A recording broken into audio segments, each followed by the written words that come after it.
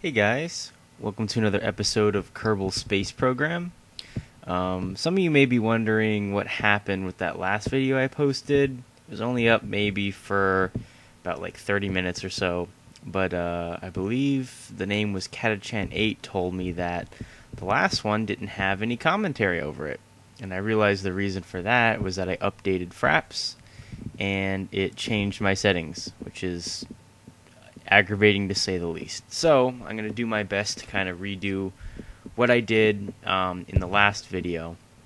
Um, I did delete it just because I figured you guys wouldn't want to see the, um, uh, you know, kind of a, a, quiet video. But if you guys want, I'll, i can put it back up.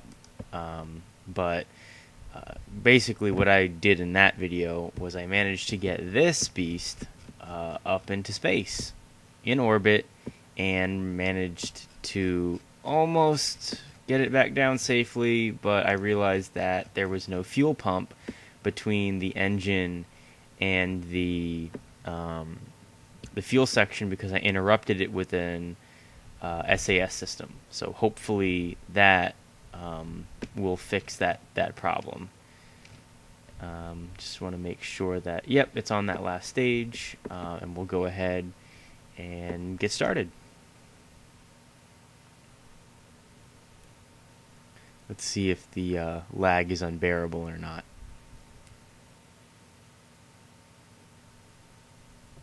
Okay, starting up. I'm going to turn on the SAS. And I remember from last time, uh, a couple times I had a problem on the launch pad because I didn't throttle all the way up again. So here we go.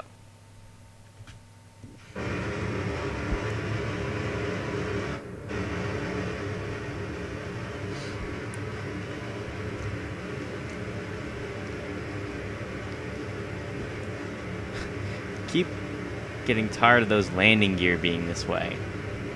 There we go.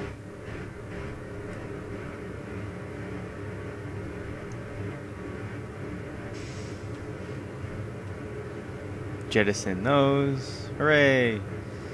I was saying before um, in the last video that I really wanted uh, a setting where you could have these landing gear be already retracted um, if you're in the vertical assembly building just because I think they look kind of goofy when you're when it's vertical. I guess the whole thing kind of looks goofy if you really think about it, but I don't know. I just prefer having the landing gear not be like that. So Donley, Dudler, and Alan Kerman hopefully will get us into orbit and get us back safely. Or rather, I will get them back safely. They are rightfully frightened that their lives are in my hands. Uh, Donley seems pretty happy. Maybe uh, he's related to Jebediah. Hooray, an intake. Alright. So, so far, so good. Broke through that thickest layer of the atmosphere. Um, about 315 meters per second and climbing. There's our launch pad down there. And our spazzy canards providing us with stability.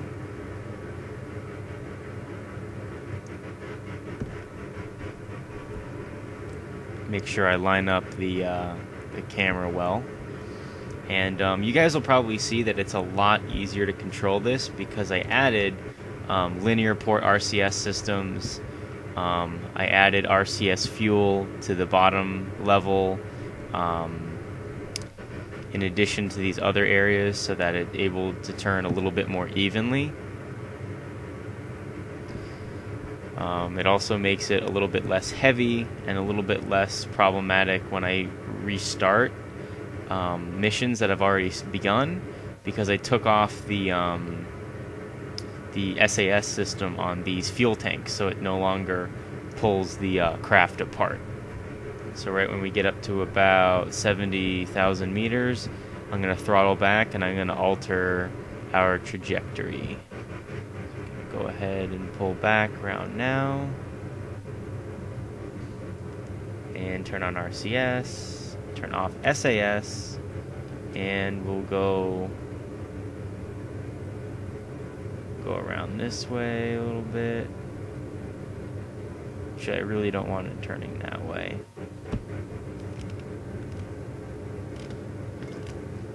But, um, okay, I'm going to stabilize it now because it's a little out of control.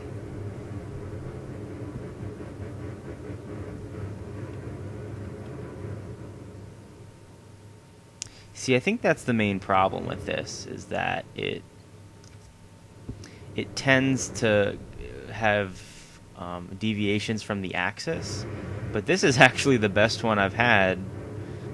Um, accidentally, kind of, but the best one I've had. Guess I'll go ahead and try to sort of screw it up a little bit here. Turn that off.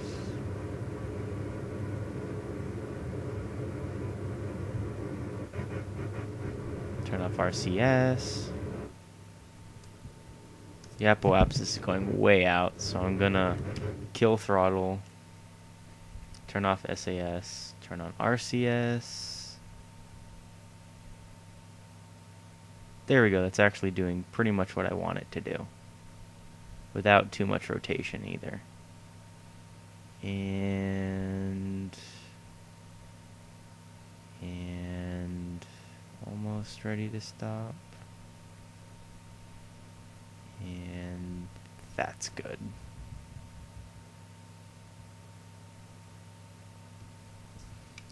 Okay. I'm going to wait a little bit to uh, reach the apoapsis. I'll go ahead and warp ahead a little bit.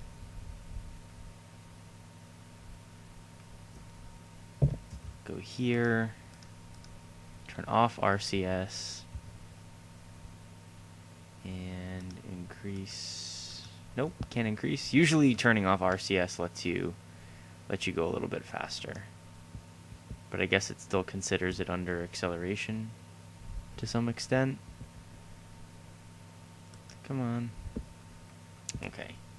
Well while we're here and while we're waiting get a nice little view of Kerbin um, you can see the, the fuel management's much better.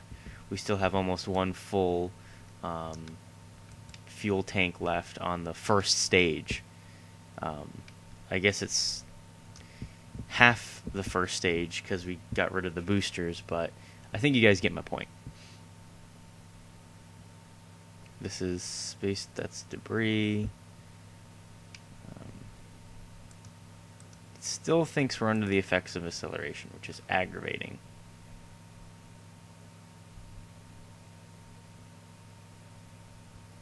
But we're going pretty fast anyway.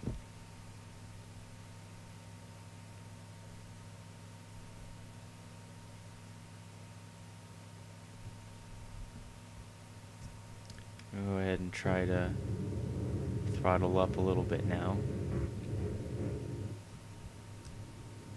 Oh, goody. It is giving us a wider arc.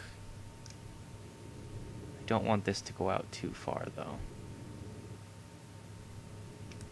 Yeah, it's widening more. Oh, I think we're out. Fuel here. Throttle down. Pop that off. RCS. Turn off SAS. And, whoa, whoa.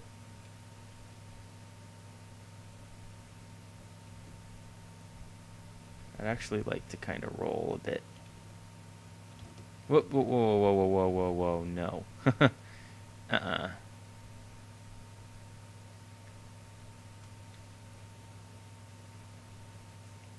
Hopefully that didn't damage anything on my craft. I don't think it did, but it's always possible. Let's kind of curve this around. see, it's it's much easier to control this one, and we'll start the engines and start moving. RCS off.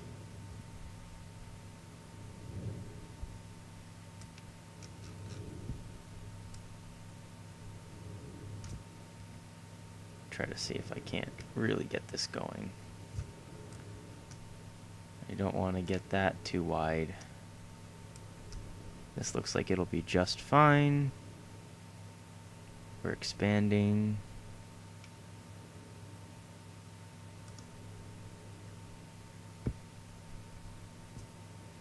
Periapsis is about to appear.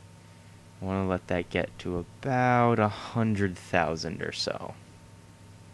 That's good. Actually, to be totally honest, this is one of the best I've had. Um, not exactly sure why um, why that is, but I guess I'm getting a little bit more control um, over this. Um, as far as turning on the orbit, I'll have to look up um, like if we're going to seriously consider going to um, the moon, which is over there, to get it um, in a in a better kind of position because this is kind of a slanted downward to the right um, orbit. It doesn't look like our orbit intersects with any of the other ones. Also a good thing.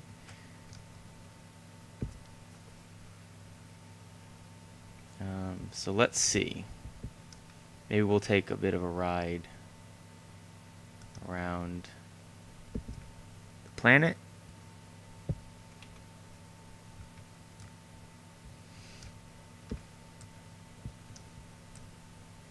Donley is thrilled. Alan's not sure what to make of it, and neither is Dudler.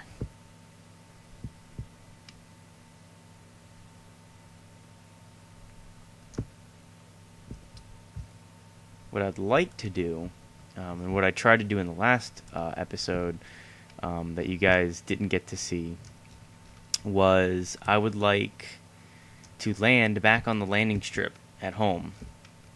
We got a we got plenty of fuel left to alter our orbit and to um, to get us back down that way. So what I'm going to try to do is see if I can't get the apoapsis to go back um, back to that continent, which I'm having a hard time finding. It's the pole. There it is. Okay. So yeah, it's actually deviated quite a bit from where we want it to be. So I'm gonna go back o- back to the the periapsis. 50 times is fast enough, otherwise it'll be a little out of control. And right around now probably pretty good. Actually, I'm going to try to make this a little bit more accurate. Go over to the periapsis and then burn opposite the apoapsis. Right about there. That's pretty close.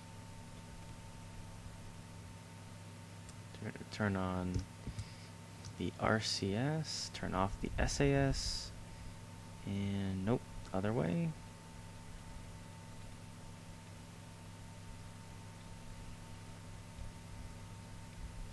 Much more control than I used to have over this. And SAS on. And let's burn. So this is a good way to shore up your your trajectory. I'm going to go ahead and drop this.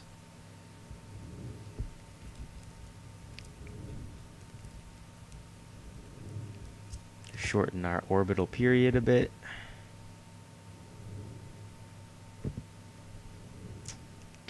Do. Oh.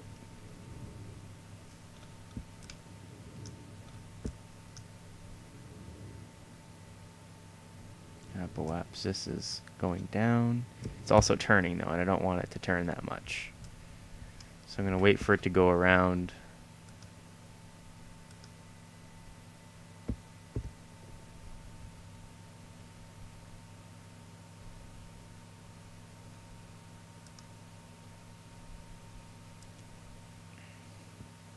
all the way around to the periapsis and I will burn again.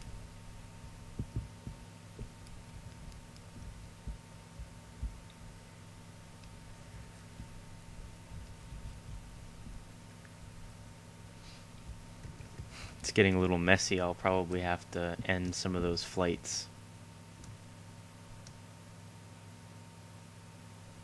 Slow it down a little bit. Not that much. Eh, no, we'll, we'll keep it going quick. Yeah, I'm forced to 10 times here anyway. Slow it down once we're right on top of it. And we'll burn again at the, uh, I guess, the anti-apoapsis point that we're getting very close to now. And that's good. OK. Hit M. Turn off SAS. And pop it on back over there.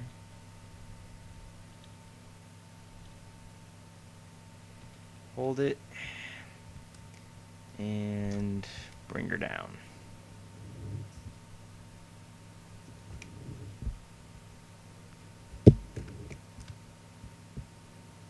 Whoa, it's moved.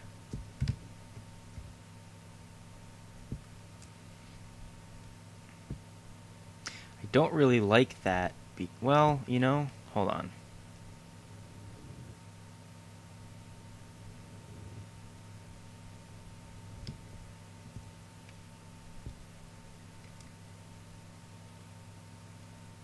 Mm, that's gonna probably decay. I can try to shoot against the periapsis here. Because I really would like to I'm not good at math, which probably won't surprise you guys hearing that, but let's see. I can't move us against the periapsis, shoot opposite the periapsis, which would be right here. Use that to slow it down. Bring it back around and up. And that's pretty good. Time for another burn.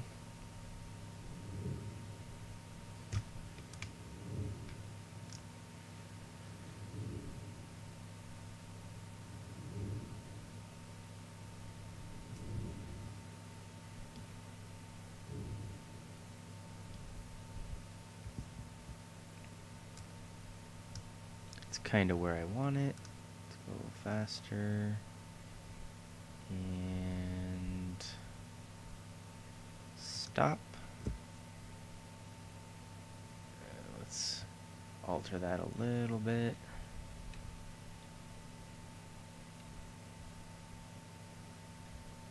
Okay.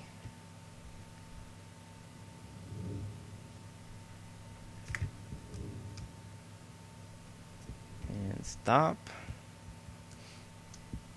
This is tough.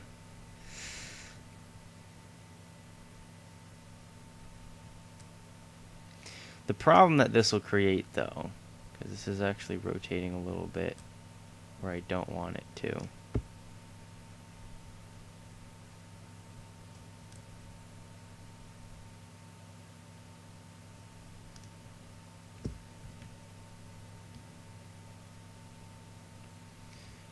Let me move along the orbit.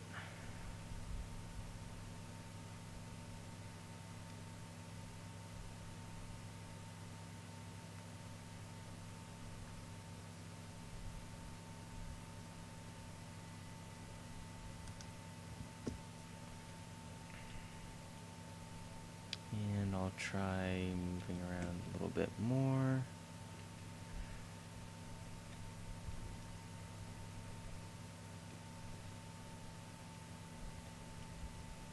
That's good. Let's see what this starts to do. No. Hmm. Somewhat aggravating, but maybe I can move the apoapsis down where I need it.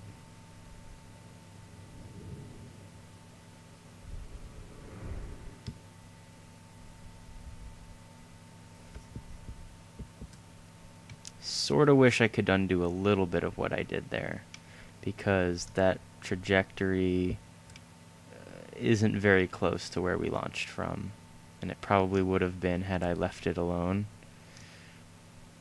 I'm wondering if I can't expand it a little bit.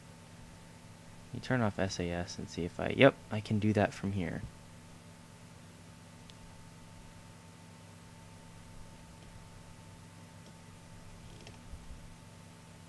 Mm, slow you down.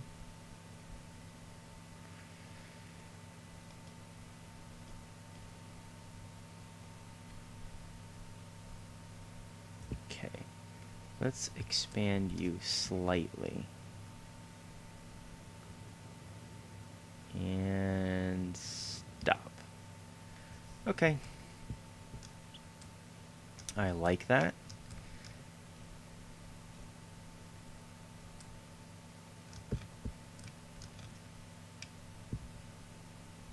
Let's increase the speed. And then we'll uh, prepare for reentry.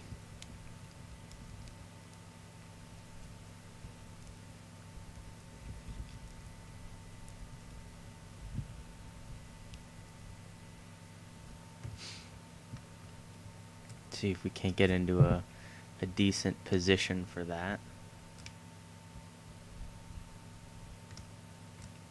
You know, that's a nice little effect in the background. Suppose we can go ahead and put our gear out.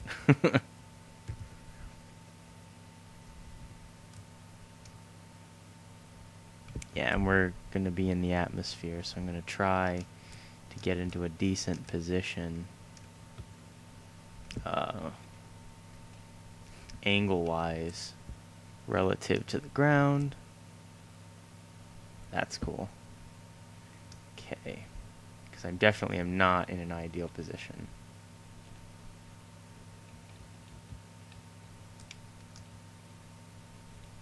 Guess I'll get relative to the horizon.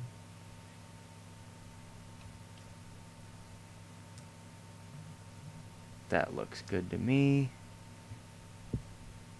Let's keep going with that.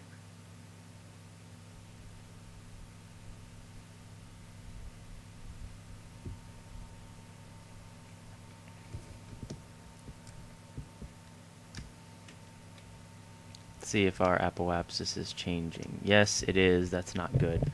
Okay.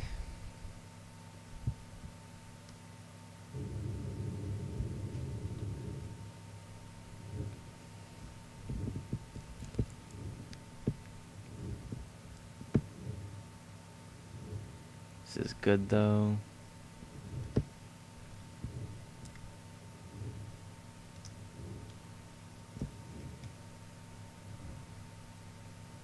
There we go, somewhat.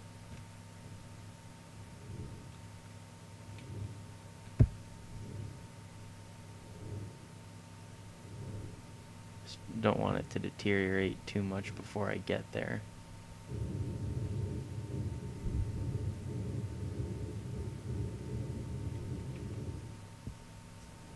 And pull it back down.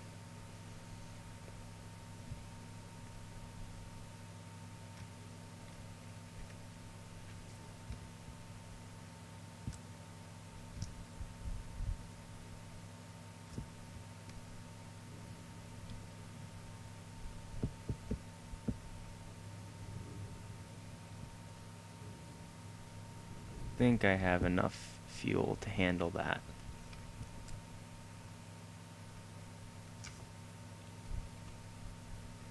Not even 100% positive that this is where I need to be going.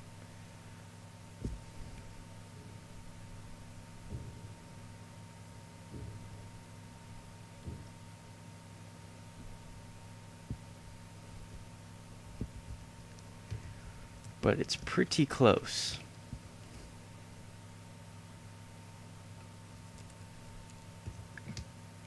Because I'm not sure if it's in where it gets it connects a little bit higher towards the top or if it's at the lower area. I can never remember that even though I should.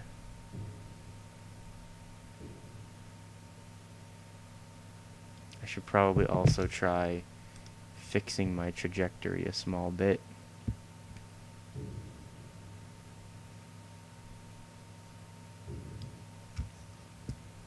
Know if I'm coming in too shallow, not shallow enough. Check our fuel. Fuel's alright. We're doing good.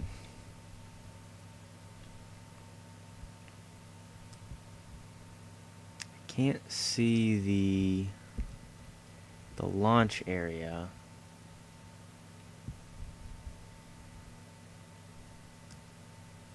But I think we're okay anyway.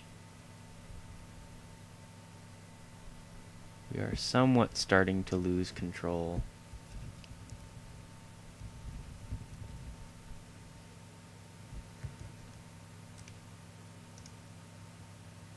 But we have enough fuel to kind of control things a bit.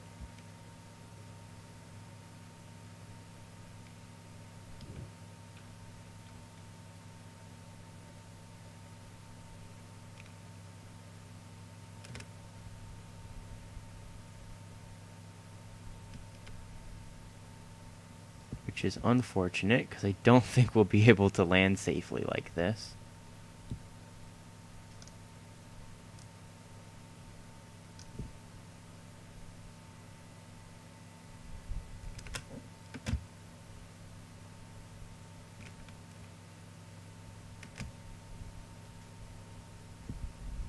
Trying to lean into the momentum.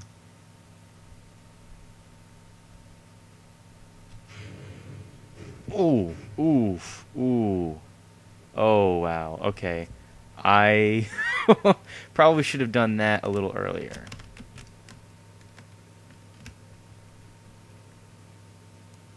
We seem to have control, though. That's what's important. But I did lose that engine because I should not have jettisoned while I was out of control like that. Whoa.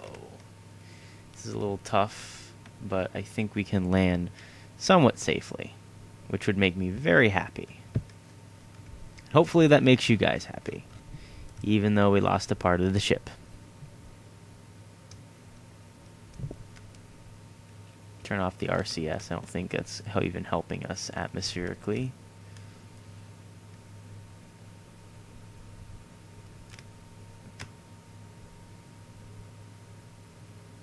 Going to be a pretty slow descent. Try and speed things up a little bit. But I again, I don't really want to go too fast because these are really hard to land. There's a lot of trees and a lot of water. Try to get through here. Just under 2,000 meters. Maybe I can land in that little oasis spot right over there. Hopefully trees won't generate there. Because trees, uh, I have lost parts of ships due to trees. Um, so they're not just decoration, they actually, I think, do have collision. Down to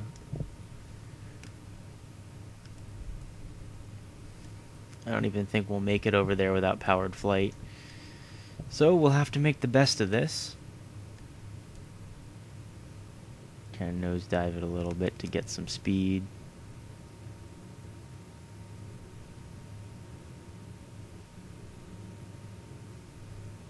Around 500 feet, I will pull back now. I'm going to glide us on in.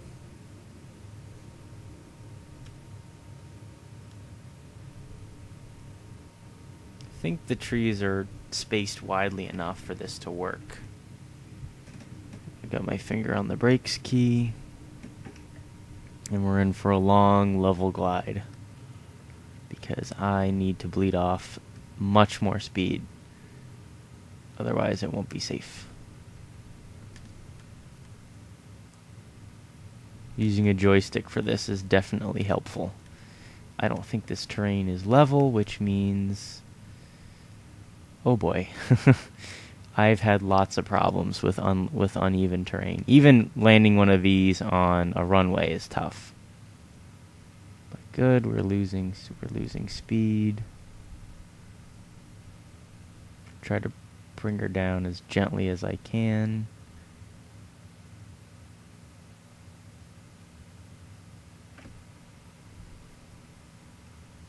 Need to be going, I think, under 20 meters per second in order for this to work well.